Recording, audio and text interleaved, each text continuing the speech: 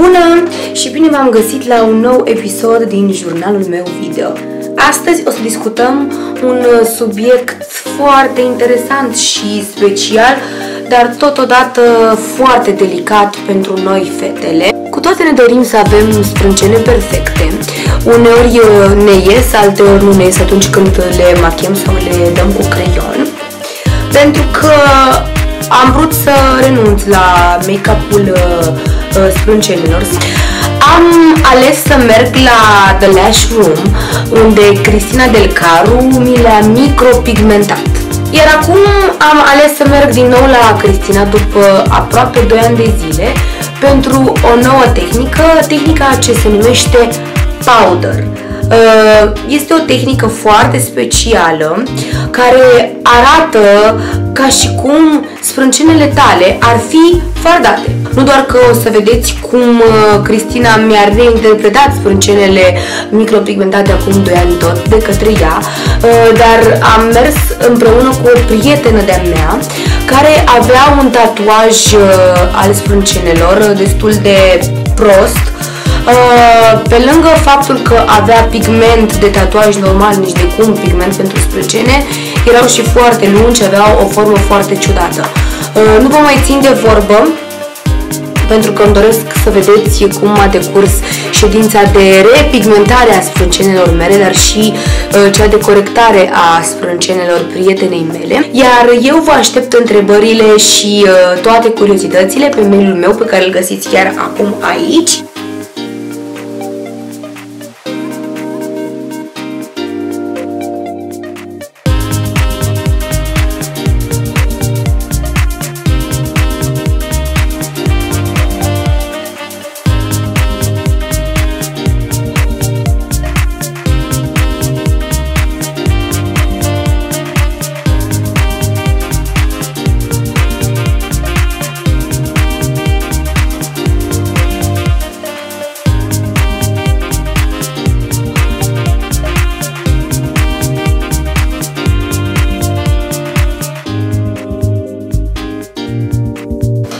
Deci Cristina, practic, așa o să arăte sprânceana mea și așa arăta înainte sprânceana mea, da? Bun. Ce Am machiat, practic, da. sprânceana dreaptă. Da. După forma, uh, după care urmează să facem pigmentarea. Da. Se vede diferența între sprânceana stângă și sprânceana dreaptă. Acesta ar trebui să fie aproximativ rezultatul final după efectuarea pigmentării. Am înțeles. Urmează să pigmentăm sprâncenele. Am folosit un act de unică folosință. Da. Uh, pe care l-am desfăcut în fața mea. Da, este foarte important. Oricine dorește să-și pigmenteze sprâncenele trebuie să știe că um, acul și vârful aparatului sunt de unică folosință, asta înainte de orice. Am stabilit nuanța pigmentului, care trebuie să fie una cât mai apropiată de nuanța naturală a sprâncenelor oanei. Atenție!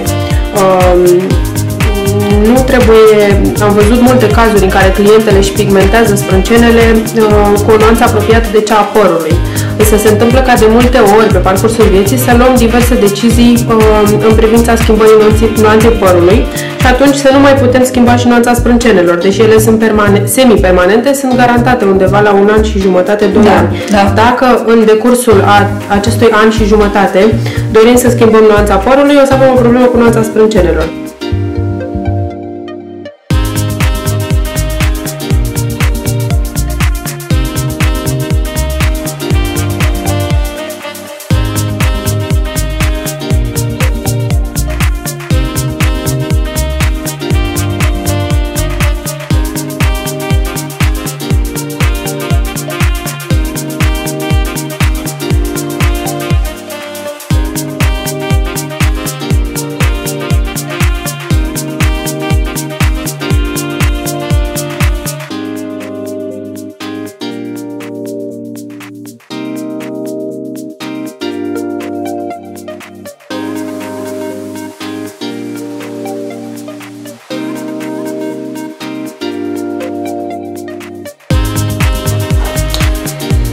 Terminat? Gata?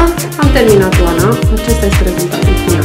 Urmează um, perioada de vindecare, care este aproximativ de 5, între 5 și 7 zile, depinde de ritmul de vindecare al fiecărui, um, al fiecărui individ în parte, da. pentru că oamenii sunt foarte diferiți. Perioada în care Oana îmi promite că va avea grijă de sprâncene. Asta înseamnă că își va aplica mm, o cremă specială pentru reparare pe care eu o voi face cadou la finalul procedurii că nu își va uda sprâncenele, pentru că ea trebuie să înțeleagă și oricine își face un tatuaj trebuie să înțeleagă că în perioada aceasta de 5 zile pielea este deschisă și uh, orice substanță din exterior, apă, machiaj, demachiant, uh, intră în piele și uh, modifică nuanța pigmentului. Apa, de exemplu, poate să spele pigmentul și atunci nu rămâne ce trebuie la final nu rămâne nici culoarea care trebuie și nici, nici intensitatea, da. nici forma, evident. Um, Oana de asemenea o să-mi promite că nu o să meargă la solar timp de două săptămâni. Ah, super. Și că nu o să-și atingă sprâncenele pentru a nu favoriza infecțiile. Tatuajul este greșit executat. De ce? Este greșit executat din mai multe motive. Uh, este un uh, cumul de greșeli da. în execuția acestui tatuaj. Eu acum am zoom să știi cât pe sprânceana dreaptă, deci... Ok. Acest tatuaj care a fost efectuat Stube, în urmă cu 4 ani. Cu 4 ani. Um, în primul rând, tatuajul da. este executat și se vede clar cu pigment de tatuaj corporal. Reiese faptul că este executat cu pigment de tatuaj corporal uh, din uh, culoarea lui. Da. Are o culoare nenaturală, gri albăstruie. Uh, se mai poate întâmpla de asemenea să fie gri verzui sau să fie roșie sau somon sau mov.